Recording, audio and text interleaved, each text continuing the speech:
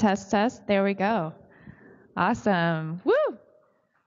Welcome to the Chartboost Dev House. Oh, yeah. Thanks. I'm, I'm not important here. I'm just introducing these guys. Um, thank you for coming to the Chartboost Dev House this afternoon. Uh, this is going to be a great session. Uh, definitely excited for Adam and Jason to share their knowledge. They have so much experience um, just within the Chartboost dashboard and working with developers and helping developers work through any issues that they may run into, optimize. Um, so, handing the floor over, of course, to Jason and Adam, please give them a warm welcome.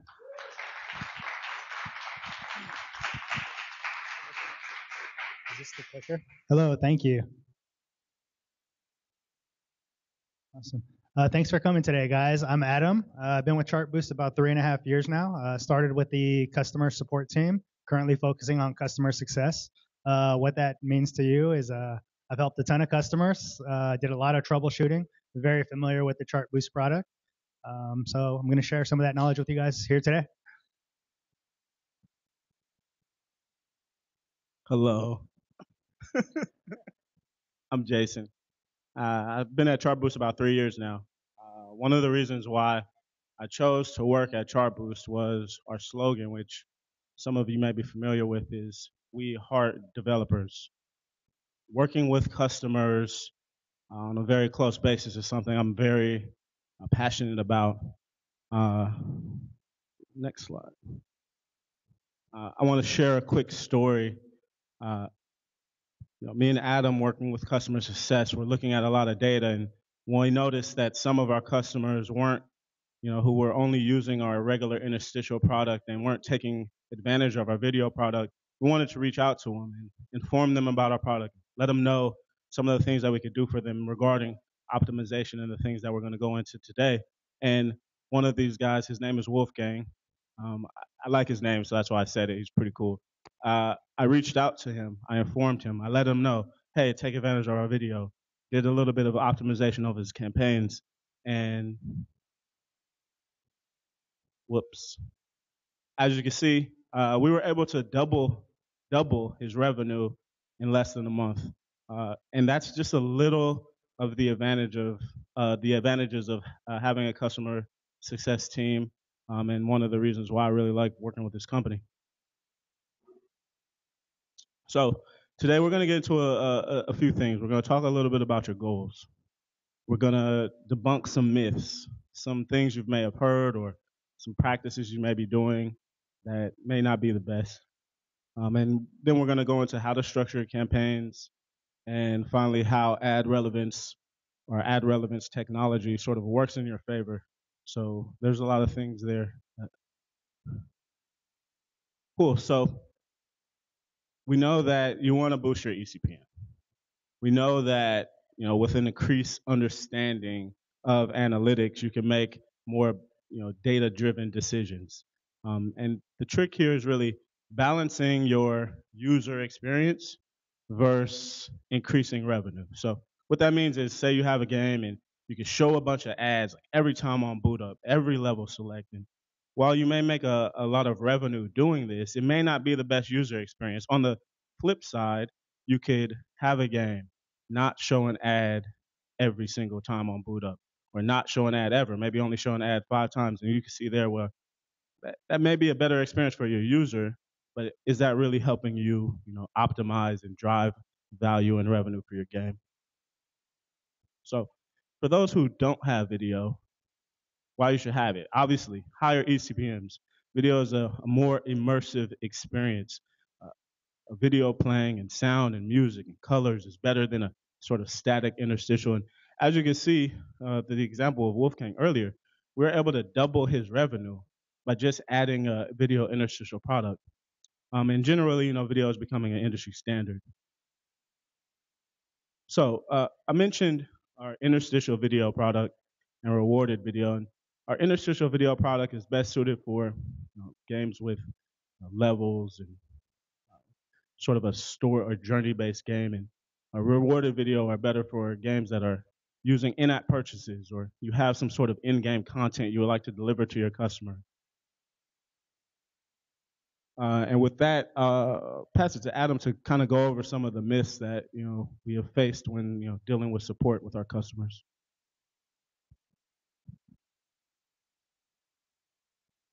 Alrighty. So um, as I mentioned, uh, started out in customer support, uh, which means we get a lot of tickets, a lot of inquiries. Uh, we've noticed that we've come across a whole lot of myths as well. So there's a few that we'd like to kind of debunk. Uh, the first one is that rewarded video uh, rewarded videos are incentivized. Uh, this is a myth because the user is not being incentivized to click or install um, an ad the user has the option to view a video for a reward in app. Uh, therefore, rewarded video, the rewarded videos are incentivized. Myth has been busted. Uh, myth number two is um, that additional coding is required in order to use video interstitial. Um, this is a myth because all you need to do is go to the dashboard, create a new video publishing campaign, hit save, and within 30 minutes, you'll start serving interstitials to your customers, as long as you're using SDK 6.0 or newer. Um, so we can consider that myth busted as well.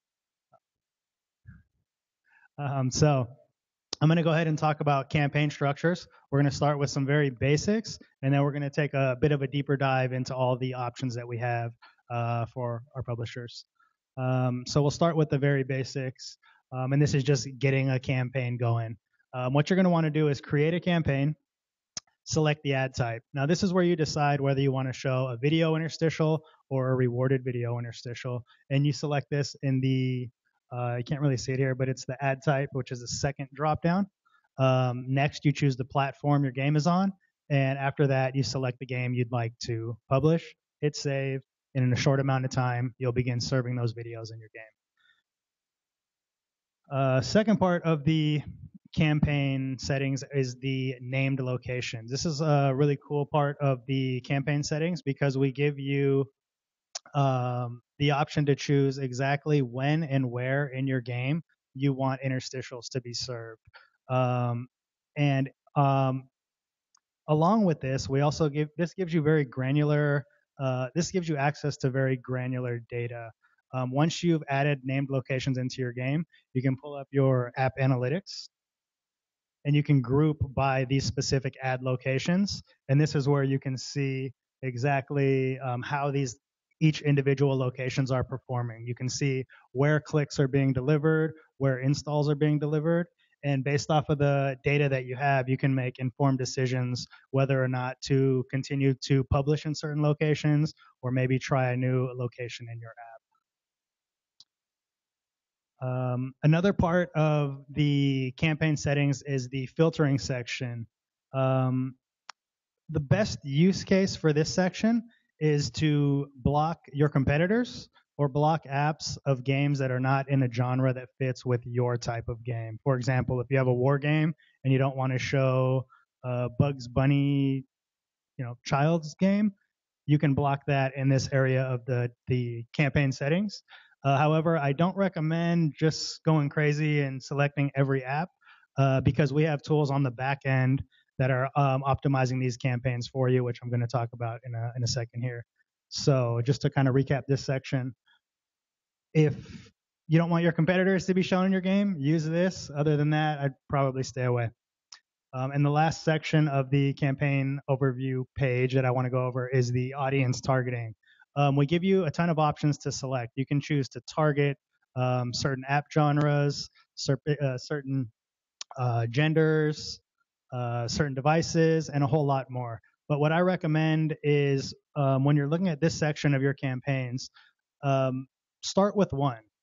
Let it run for a few weeks. Look at your data, analyze the data, and make your decisions based off of the data you've collected. If you found something's working well, maybe add another um, another filter. Um, don't I don't recommend adding a ton of of filters all at once because then it makes it harder to look at the data and really analyze what is working and what's not. So feel free to use this stuff, but don't get too crazy when you're in your campaign settings unless you have the data um, to back up your decisions. So um, I mentioned that you don't need to go crazy with some of this stuff, and that's because we have uh, ad relevance technology that's optimizing your campaigns on a regular basis.